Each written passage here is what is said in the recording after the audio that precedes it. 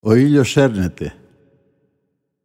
Ο ήλιος έρνεται από μια παλιά έγνοια χτυπώντας τη μακριά ηλιαχτίδα του διαμέσου των ετών.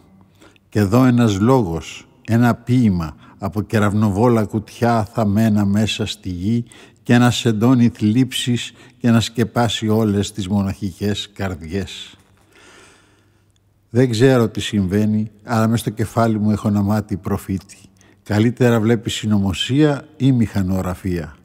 Ακούω να τρέχει ο κέλτας του φθινόπορου και η σάλπιγγα του σκουλικιού αστραφτερεί μέσα στο σάπιο φρούτο. Υπάρχει κάτι στην ατμόσφαιρα γλιώδες, χωρίς χρώμα και μυρωδιά. Είμαι εχμάλωτος μέσα σε κάτι σαν κόλλα. Τα πράγματα όλο ένα με ξεπερνούν από τότε που αντί για μάτια είχα μανιτάρια. Τα πρόσωπα, τα φώτα, τα παράθυρα, όλα τα σημάδια της ζωής. Τα αυτοκίνητα διασχίζουν μου γκρίζοντας τη σύγχρονη αγωνία. Οι άνθρωποι ελπίζουν, αλλά δεν είναι αυτό παρά ένας λόγος, ένα ποίημα από κεραυνοβόλα κουτιά θαμμένα μέσα στη γη. Κοιμάμαι στο αρωματικό αυγό, κρατάω μια σπίδα από υδράργυρο και τιμάζομαι για γέννηση.